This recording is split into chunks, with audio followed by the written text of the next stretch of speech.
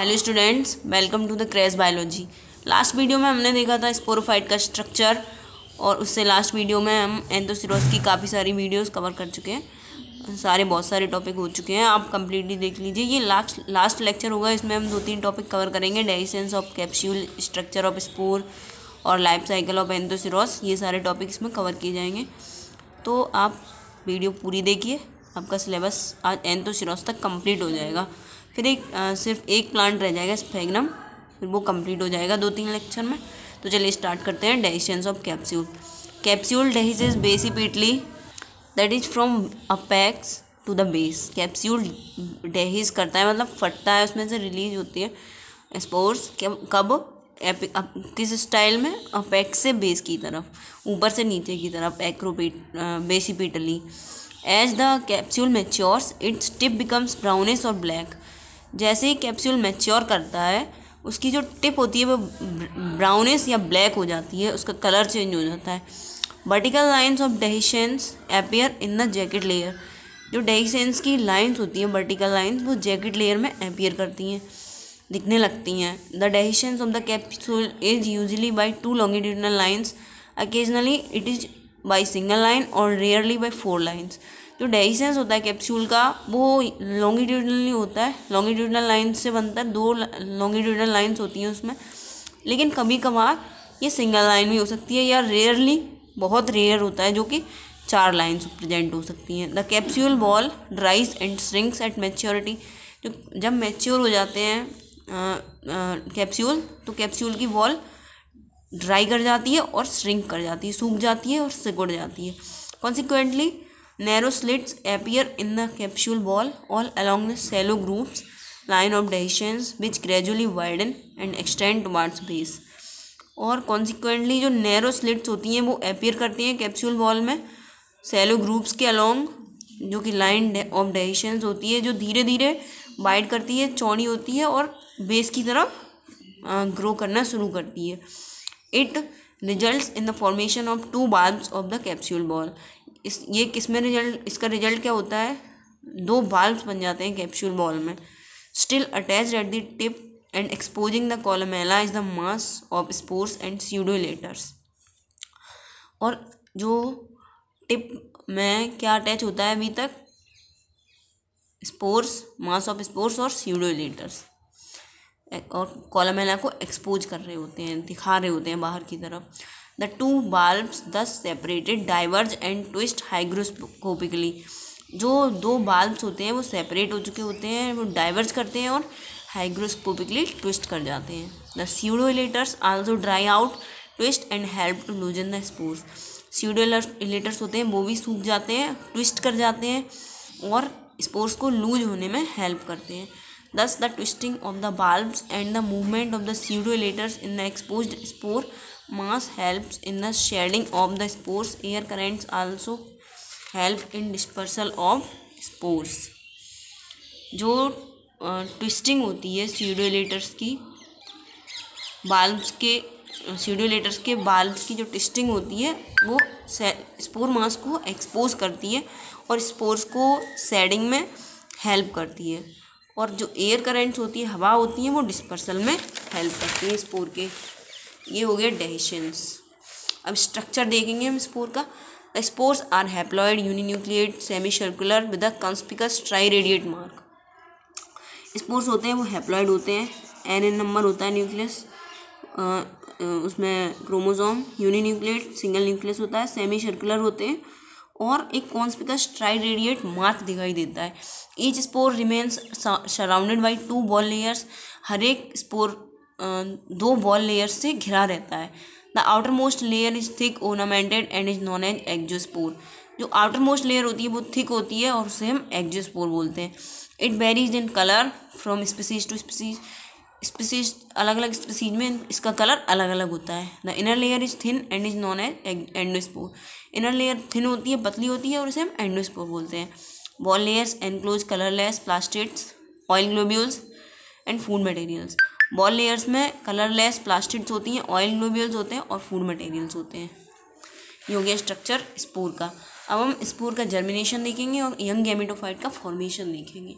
तो क्या हेडिंग है? Germination of spore and formation of young gametophyte at the time of germination spore absorbs water and swells सब जब germination होता है तो स्पोर वाटर एब्जॉर्ब करता है और फूल जाता है। Ex exospore ruptures at the tri radiate mark and endospore comes out in the form of a tube it is called germ tube जो एक्जोस्पोर होता है, वो फट जाता है रप्चर कर जाता है ट्राई रेडिएट मार्क पे और एंडोस्पोर बाहर आते हैं, एक ट्यूब की फॉर्म में, जिसे हम जर्म ट्यूब बोलते हैं।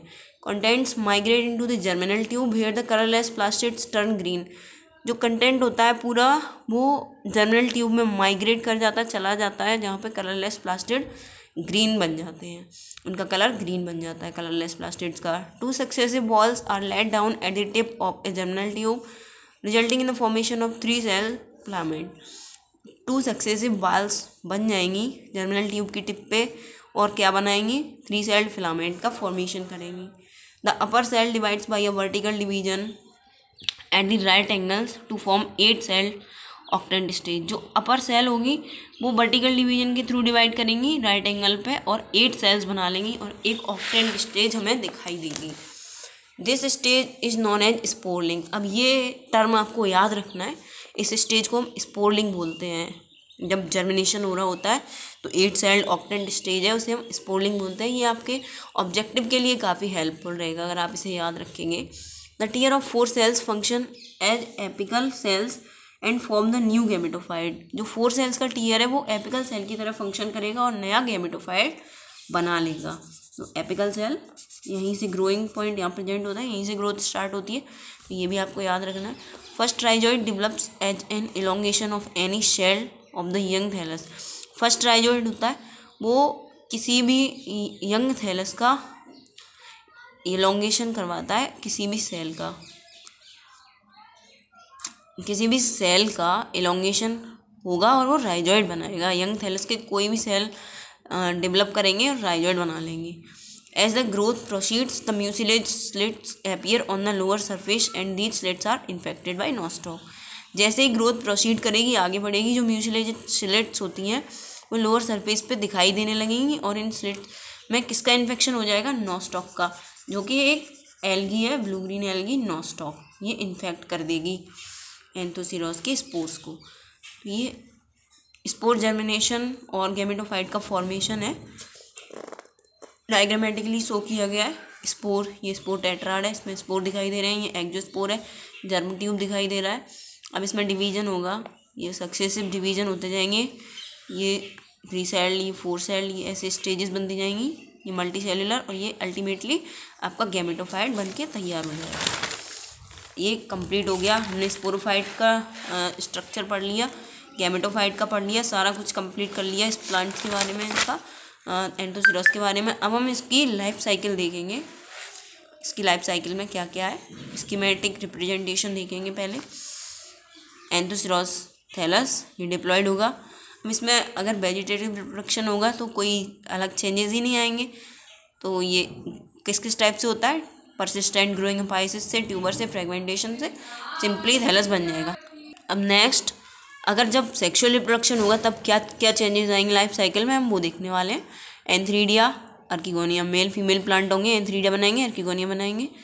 अर्कीगोनिया में एग बनेगा एंथ्रीडिया में एंथ्रोजॉइड बनेंगे।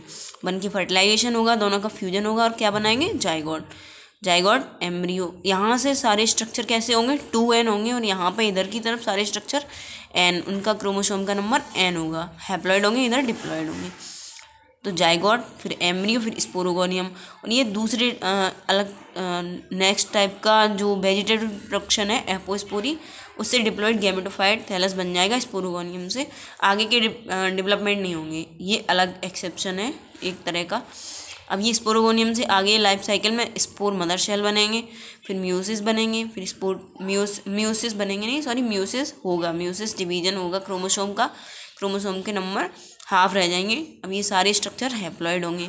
स्पोर मदर सेल में म्यूसिस हुआ म्यूसिस से स्पोर टेट्राड स्पोर टेट्राड से स्पोर और स्पोर से स्पोर जर्मिनेशन होके अल्टीमेटली एंथोसिरास का थैलस बन जाएगा।